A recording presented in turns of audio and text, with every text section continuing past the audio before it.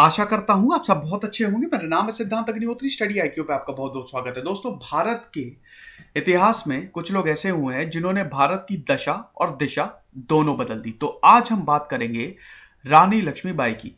दोस्तों, मैदान जंग में इन्होंने ऐसा पराक्रम दिखाया कि सारे दुश्मनों को चारों खाने चित्त कर दिया। उस समय की बात है जब बोला जाता था कि महिलाओं को घूंघट के नीचे ही रहना चाहिए। ये आई सबके मन में इन्होंने क्रांति की ज्वाला भड़का दी और दोनों हाथ में तलवार लिए ऐसा वार करना शुरू किया कि सब हार गए। लेकिन अनफॉर्चुनेटली अनफॉर्चुनेटली दोस्तों बैटल फ़ील्ड में ये वीर गति को प्राप्त हो गई थी, काफ़ी घायल हो गई थी।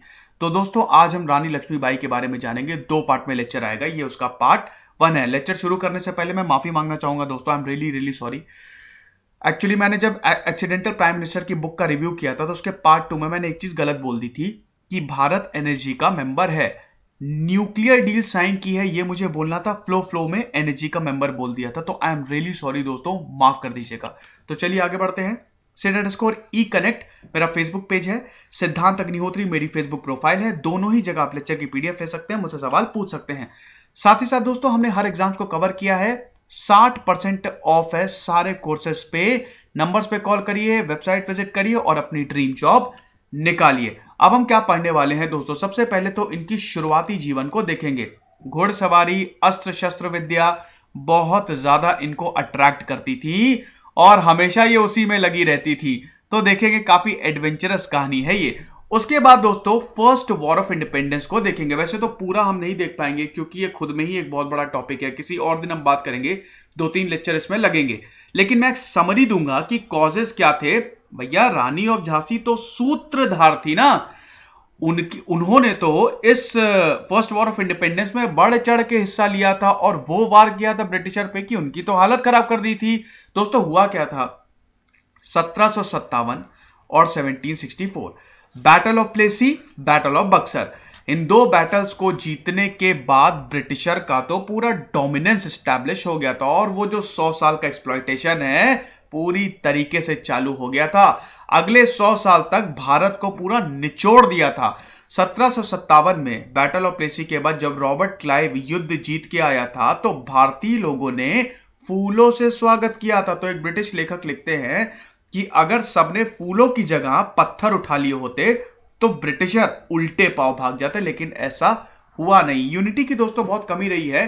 फ़र्स्ट वॉर ऑफ़ इंडिपेंडेंस में ही आपको पता है, भारत मतलब जो ब्रिटिश ट्रूप्स थे, उनमें भारतीय भारतीय सोल्जर्स की संख्या कितनी थी? सत्तासी परसेंट, एट्टी सेवन परसेंट। अगर हर कोई उसी वक्त विद्रोह कर देता तो ये नौबती नहीं आती। तो दोस्तों, ये सौ साल का जो बदला है, ऐसा नहीं है कि रेवोल्यूशन नहीं हुए रिबेलियंस नहीं हुए। प्रेजेंट रिबेलियन हुआ चुनार रिबेलियन सन्यासी रिबेलियन बहुत सारे रिबेलियन हुए। लेकिन इन सबको क्रश किया गया, और जो बदला है, जो चिंगारी हमारे मन में थी ना उसको ज्वाला बना दिया। रानी लक्ष्मीबाई, नाना साहेब, तांत्या तोपे, इन सबने। तो ये सब देखेंगे। स्ट्रगल देखेंगे दोस्तों, जो बैटल फ़ील्ड में हुआ, ये भी बड़ी इंटरेस्टिंग स्टोरी है। वो सारी चीज़ें देखेंगे और उसके बाद क्या हुआ? Aftermath of all this एक नई शुरुआत हो गई दोस्तों। वो सब, उस, उन सब चीज़ों पे भी नज़र डालेंगे। दोस्तों रानी ऑफ़ झांसी पे हाल ही में अभी मूवी भी आ रही है। बहुत ही ज़बरदस्त अदाकारा कंगना रनौत, रानी ऑफ़ झांसी, मनी कर्णिका का रोल जो है वो प्ले कर रही है। मनी कर्णिका बचपन का नाम था, रानी ऑफ़ झांसी का। तो दोस्तों, बहुत सारी मूवीज़ बनी हुई हैं, कविताएँ इन पे बनी हुई हैं, गाने बने हुए हैं।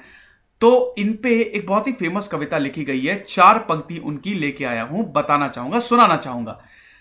दूर फिरंगी को करने की सबने मन में ठानी थी। चमक उठी सन सत्तावन वन में वह तलवार पुरानी थी।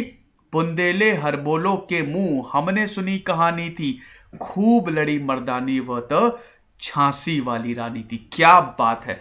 तो दोस्तों, अगर रानी लक्ष्मीबाई की बात करें तो इनका जन्म 19 नवंबर 1835 में हुआ था। दोस्तों, बहुत जगह ये 1828 भी आपको लिखा, हुआ मिलेगा, लेकिन 1835 ही सही है। एक मराठी ब्राह्मण फैमिली में इनका जन्म हुआ था। इनके पिताजी का नाम था मोरपंत तांबे और इनकी माताजी का नाम था भागीरथी सप्रे। दोस्तों, चार साल की थी ये, जब इनकी माताजी का देहांत हो गया था तो पिताजी इनको फिर बिठूर ले आए थे। वाराणसी में जन्म हुआ था दोस्तों, बिठूर कानपुर के पास है।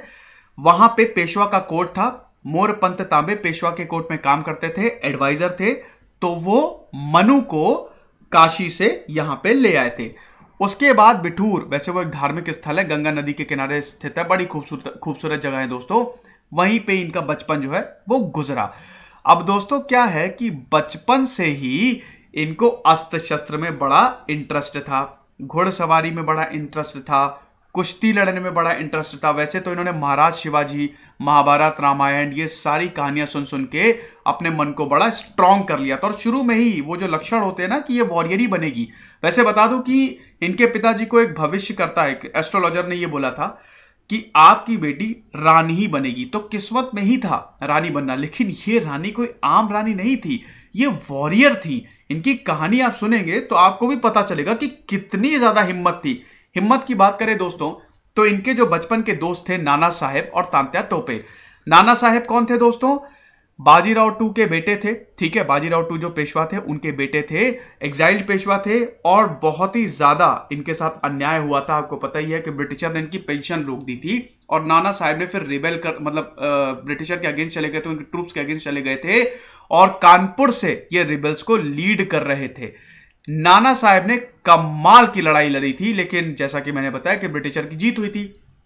तांत्या तोपे तो रानी लक्ष्मीबाई के साथ ही लड़े थे, उनकी सेना को देख रहे थे वो पूरा अच्छे से। तो नाना साहेब, तांत्या तोपे और मनु। देखिए मणिकर्णिका जो है, वो बचपन में नाम था। अभी मैंने बताया था ना, ठीक है, लिखा हुआ था मणिकर्णिका वो रानी लक्ष्मीबाई का बचपन में नाम था। तो प्यार से उनको सब मनु मनु बुलाते थे। तो ये तीनों बचपन के बहुत अच्छे दोस्त थे। साथ में उठना, बैठना, खेलना, शैतानियाँ करना तो ये तीनों साथ में करते थे। और दोस्तों, इनको छबीली बोला करते थे, पेशवा।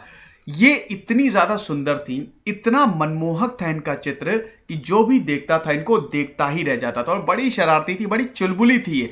तो इसी को इनको, इसीलिए इनको छबीली बोला जाता था।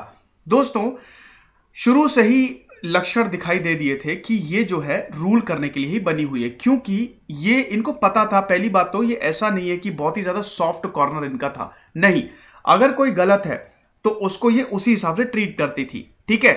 हर चीज़ को सिचुएशन के हिसाब से ये एडजस्ट करती थी। घोड़सवारी का बहुत ज़्यादा शौक था दोस्तों, और बहुत ही ज़्यादा समझ थी कि कौन सा घोड़ा किस चीज़ के लिए फिट बैठेगा। अगर हमको वॉर पे जाना है तो कौन कौन से घोड़े को लेके जाना है? तो ये चीज़ थी। अब दोस्तों, कहानी आगे बढ़ती है, ठीक है? यहाँ पे बहुत ही छोटी सी उम्र में इनकी शादी तय हो जाती है। उस समय क्या था दोस्तों कि छोटी सी उम्र में शादी तय हो जाती थी। तो मणिकर्णिका की जो शादी है वो झांसी के महाराजा से तय होती है। राजा गंगाधर नेवलकर 1900 1850 में उनसे शादी होती है। 14 साल की ही होती है जब उनके उन, राजा नवेलकर से शादी होती है और उसके एक साल बाद ही दामोदर राव का जन्म होता है। अब दोस्तों ये एक कहानी है। सब कुछ अच्छा चल रहा होता है। कहानी इन द सेंस की रियल कहानी है मतलब सब कुछ अच्छा चल रहा होता है। पारिवारिक जीवन बहुत अच्छा चल रहा होता है। प्रजा बहुत खुश होती है। लेकिन अब मुसीबतों के बादल छाने वाले हैं मनु की ज़िंदगी में। उन अठारह में दामोदर रॉय, दामोदर राव का जन्म होता है, ठीक है? मनु क्या, एक बच्चा आया, बहुत ही प्यारा, बहुत खुश मनु, राजा बहुत खुश, लेकिन चार महीने बाद ही मृत्यु हो जाती है उसकी, ठीक है? वो मर जाता है। प्रॉब्लम्स तो महाराजा क्या करते हैं, अपने पुत्र की मृत्यु में ऐसा डूब जाते हैं कि बहुत परेशान हो जाते हैं। उनकी तबीयत भी खराब रहने लगती है। तो अपने कज़न के बच्चे को वो अडॉप्ट कर लेते हैं, जिसका नाम होता है आनंद राव, और उसको फिर दामोदर राव, ये उसका नाम रखते हैं, ठीक है? ओरिजिनल नाम उसका आनंद राव होता है, जो एडॉप्टेड सन होता है मनु का। लेकिन फिर उसका दामोदर राव नाम रखते हैं। तो आई होप ये चीज़ आपको क्लियर हो गई। ओरिजिनल जो नेचुरल हेयर था, ठीक है? मणिकर्णिका का मतलब रानी ऑफ़ झांसी का, उसकी तो मृत्यु हो गई। तो उन्होंने अपने रिश्तेदार के बच्चे को एडॉप्ट किया था। ये एक चीज़। अब इसको साइड में रखते हैं थोड़ा। दूसरी चीज़ डॉक्ट्रिन ऑफ़ लैब्स अब दोस्तों, ये चीज़ क्या है? लॉर्ड डलहौजी का आपने नाम सुना होगा। गवर्नर जनरल थे भारत के 1848 से लेकर 1856 तक ये रहे थे। ठीक है? और इन्होंने भारत के लिए भी काफ़ी कुछ किया और भारत के अगेंस्ट भी काफ़ी कुछ किया। दोस्तों PWD railway telegraph postage stamp ये सब लॉर्ड डलहौजी लेके आए थे। ठीक है? 1850 के बाद। लेकिन इनकी एक पॉलिसी थी डॉक्ट्रिन ऑफ़ लैब्स जिसने कबाड़ा करना एक एक लोगों का शुरू कर दिया था। अब इसके तहत क्या बोला गया था? दोस्तों, इसके तहत यह बोला गया था कि जो प्रिंसली स्टेट्स हैं, अगर उनके महाराजाओं के पास नेचुरल हेयर नहीं है एयर नहीं है मतलब अगर उनका खुद का बेटा नहीं है, किसी को एडॉप्ट किया गया है, किया है उन्होंने तो नेचुरली वो जो पूरा साम्राज्य है उनका वो ब्रिटिशर के पास चला जाएगा। आप कुछ भी नहीं कर सकते। अब यहाँ पे रानी लक्ष्मीबाई के ओरिजिनल जो उनका नेचुरल एयर था, उसकी तो डेथ हो गई थी, ठीक है? उनका खून तो मर, खून तो मर चुका था। उन्होंने तो एडॉप्ट किया था। तो यहाँ पे झांसी चला गया ब्रिटिशर के पास। हालाँकि ये जो पूरा एडॉप्शन था, ये ब्रिटिश ऑफिशियल्स की देखरेख में ही हुआ था और ब्रिटिश ऑफिशियल्स पूरा एग्री कर गए थे कि कोई बात नहीं, आप जो है, झांसी आपकी ही रहेगी। लेकिन बाद में डॉक्ट्रिन ऑफ़ लैब्स के तहत वो ब्रिटिशर के पास चली गई और फिर रानी ऑफ़ झांसी ने यह बोल दिया कि मैं अपनी झांसी नहीं दूँगी। प्रॉब्लम्स और खतरनाक हो गई जब अठारह में इनके पति का भी देहांत हो गया। गंगाधर नेवलकर का भी देहांत हो गया और बहुत ही ज़्यादा प्रॉब्लम्स हो गई। अब क्या करें? बहुत प्रॉब्लम्स मुसीबतों के बादल छा गए हैं, लेकिन रानी लक्ष्मीबाई ने हार नहीं मानी। अब तक तो वो एक रानी की तरह व्यवहार कर रही थी। अब वो एक वॉरियर के रूप में आने वाली थी। अब दोस्तों, यहाँ पे देखिए किस तरह से कहानी जो है, सारी कहानियाँ जो अलग अलग है एक दूसरे से जुड़ जाती हैं। सीधा उन्होंने रिफ्यूज कर दिया कि मैं अपनी झांसी नहीं देने वाली, चाहे जो कर लो। यहाँ पे दोस्तों क्या होता है? फ़र्स्ट वॉर ऑफ़ इंडिपेंडेंस स्वतंत्रता संग्राम, भारत में जो पहला स्वतंत्रता संग्राम लड़ा गया था, उसका बिगुल बच जाता है। देखते हैं दोस्तों फ़र्स्ट वॉर ऑफ़ इंडिपेंडेंस कैसे स्टार्ट हुआ, कुछ कॉजेस के बारे में जानते हैं। दोस्तों, आपको पता ही कि अठारह में स्टार्ट हो गया था, मेरठ से स्टार्ट हुआ था। अब दोस्तों, अगर हम फ़र्स्ट वॉर ऑफ़ इंडिपेंडेंस की बात करें, वैसे तो बहुत ही बड़ा टॉपिक है, लेकिन अगर उसको समराइज करें तो हम चार कॉजेस को मानते हैं। सबसे पहले तो इकोनॉमिक कॉज था। देखिए जैसा कि मैंने बताया कि 100 साल में ब्रिटिशर ने तो पूरी तरीके से भारत को निचोड़ दिया था। इंडस्ट्रियल रेवोल्यूशन ऑलरेडी आ गया था दोस्तों ब्रिटिश में। तो वहाँ पे क्या हुआ था कि जब वहाँ पे इंडस्ट्रियल रेवोल्यूशन आया था तो आपको रिसोर्सेज की ज़रूरत होते हैं। भारत से रिसोर्सेज भर भर के जाते थे। किसानों को फोर्स किया जाता था कि टेक्सटाइल्स के लिए आप वो चीज़ें उगाइए जो सही हो इंडस्ट्रियल रेवोल्यूशन को, जो बढ़ावा बढ़ावा दे। अनाज मत उगाइए। लेकिन वो चीज़ें जैसे नील इंडिको भैया नील दर्पण किसने लिखी है? चलिए कमेंट बॉक्स में बताइए। ठीक है? एक ऐसी वो मतलब आ, क्या कहते हैं कि साहित्य था कि पूरी तरीके से उसने चेंज कर दिया था। ठीक है? उसने क्रांति का काम कर दिया था। तो यहाँ पे पूरी तरीके से इकोनॉमिक एक्सप्लॉयटेशन जो था वो चरम पे था। दूसरी चीज़ दोस्तों जमींदार। जमींदार तो किसानों को बर्बाद कर देते थे। लोन्स जो लेते थे किसान, वो नहीं दे पाते थे जमींदारों को। टैक्सेस बहुत हाई थे, जिसका गुस्सा फूटा। लेकिन यहाँ पे दोस्तों फ़र्स्ट वॉर ऑफ़ इंडिपेंडेंस में मिडिल क्लास ने भाग नहीं लिया था तो आप ये भी थोड़ा सा ध्यान रखिएगा। दूसरा जो था, वो था political cost doctrine of lapse ये जो पॉलिसी थी, ये मेन पॉलिटिकल कॉस्ट था, और इसके तहत दोस्तों, सतारा, नागपुर, झांसी को एनेक्स कर लिया गया था, क्योंकि इनका कोई लीगल एयर था ही नहीं। तो आप क्या कर सकते हैं? दूसरी चीज़, पेंशन्स जो मिलती थी, जिनको जिनको मिल रही थी, सब कुछ रिफ्यूज कर दिया था। बहादुर शाह ज़फ़र को यह बोल दिया था कि रेड फोर्ट खाली कर दो और निकल जाओ यहाँ से। तो ये सारी चीज़ें भारतीय बहुत ज़्यादा हर्ट हुए। अंबेरसमेंट हुआ। ये हमारी फीलिंग जुड़ी हुई थी। बहादुर शाह ज़फ़र दोस्तों आखिरी मुगल एम्पर थे। ठीक है? और इन्हीं, उन्हीं को लीडर बनाया गया फ़र्स्ट वॉर ऑफ़ इंडिपेंडेंस में। उसके बाद दोस्तों सोशल कॉज था। क्या होता था? कि यहाँ पे कन्वर्जन स्टार्ट हो गए थे। बहुत सारे क्रिश्चियन मिशनरीज आते थे और भर भर के भारतीयों को कन्वर्ट कर देते थे क्रिश्चियनिटी में। तो यहाँ पे लोगों को लगा कि हम, हमारा कल्चर पूरा छीन के ले जा रहा है ब्रिटिशर ये क्या बकवास है?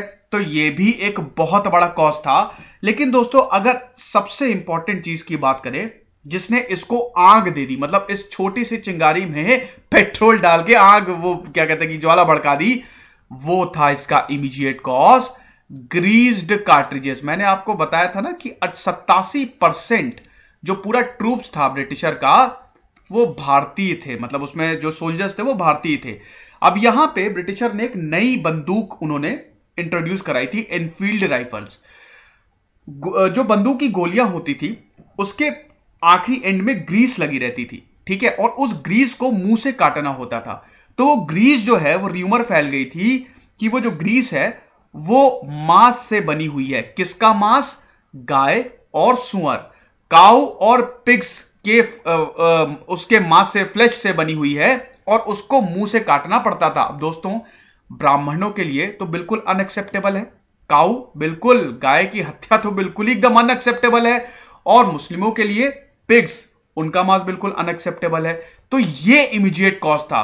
मंगल पांडे ने बोल दिया मैं नहीं करूँगा। वो सोल्जर थे। ठीक है? ब्रिटिश ब्रिटिश आर्मी में उन्होंने बोल दिया, मैं नहीं करने वाला। सात अप्रैल अठारह को मंगल पांडे को फांसी दे दी गई और आई मीन सॉरी आठ अप्रैल को दी गई थी। एट अप्रैल 1857 उसके ठीक एक महीने बाद। और बहुत सारे सोल्जर्स ने रिवोल्ट कर दिया रिबेलियन मूवमेंट को ज्वाइन कर लिया, पचासी सोल्जर्स ने अटैक किया और रिबेल किया। यहाँ पे ब्रिटिशर्स के खिलाफ दिक्कतें हुई। उन पचासी सोल्जर्स को 10 साल की सजा सुनाई गई और मेरठ में यह सब हुआ था और मेरठ से ही अठारह की क्रांति का बिगुल बच गया। अब दोस्तों, अगर सेंटर्स की बात करें तो छह बहुत ज़्यादा इंपॉर्टेंट सेंटर्स थे जहाँ से यह वॉर जो है, वो लड़ा गया। कानपुर, लखनऊ, बरेली, झांसी, ग्वालियर और आरा। लेकिन एक एक करके हर शहर के लिए एक कमांडर को नियुक्त किया गया और एक एक करके सबको सप्रेस किया गया और इस रिबेलियन को पूरी तरीके से फ़र्स्ट वॉर ऑफ़ इंडिपेंडेंस को दबा दिया गया। दोस्तों, ब्रिटिशर बहुत सालों तक कहते रहे कि सिपॉय म्यूटनी है, ठीक है? ये तो सोल्जर्स ने रिवोल्ट कर दिया था, डरते रहे वो, लेकिन जब बाद में रिसर्च की लोगों ने, जब हिस्टोरियंस ने पढ़ा तब पता चला ये कोई सिपॉय म्यूटनी नहीं थी। ये फ़र्स्ट वॉर ऑफ़ इंडिपेंडेंस था जो ब्रिटिशर के खिलाफ, इस साम्राज्य के खिलाफ भारतीयों ने लड़ा था। ये कोई सिपॉय म्यूटनी नहीं थी। तो ये अक्सर होता है दोस्तों कि ब्रिटिशर जो जो उनकी राइटिंग्स हैं, वो बहुत ज़्यादा छुपाने की कोशिश करती है और कुछ और प्रोजेक्ट करने की कोशिश करती हैं। तो दोस्तों ऐसा है कि यहाँ पे झांसी पे भी, एक झांसी के पास भी बहुत अच्छा मौका था, क्योंकि डॉक्ट्रिन ऑफ़ लैब्स के तहत झांसी को एनेक्स किया जा चुका था। दूसरी चीज़, यहाँ पे सीधा रानी लक्ष्मीबाई ने बोल दिया था कि मैं तो झांसी दूँगी नहीं, ठीक है? तो यहाँ पे कॉन्फ्लिक्ट होना लाजमी था, और उसके बाद झांसी के रिवोल्ट को सप्रेस करने के लिए बनाया, बुलाया गया general Hugh Rose Ottoman army के एडवाइजर रह चुके थे, ये क्रीमियन वॉर में ये लीड कर चुके थे तो बहुत ही खतरनाक इंसान थे तो जनरल ह्यू ग्रोस को बुलाया गया। उसके बाद रानी ऑफ़ जासी वर्सेस ह्यू ग्रोस, ये बैटल फ़ील्ड में मिलेंगे, और क्या कहानी है, किस तरह से ये लड़ाई जो है लड़ी गई, और फिर रानी ऑफ़ झांसी ने बैटल फ़ील्ड में क्या पराक्रम दिखाया, और कैसे वीर गति को प्राप्त हुई, और इस फ़र्स्ट वॉर ऑफ़ इंडिपेंडेंस का अंत हुआ, वो हम अगले पार्ट में जानेंगे। तो आई होप दोस्तों ये लेक्चर पसंद आया होगा, इसको ज़रूर शेयर कीजिए, तब तक खुश रहिए, पढ़ते रहिए। दिस सिद्धांत अग्निहोत्री साइनिंग ऑफ़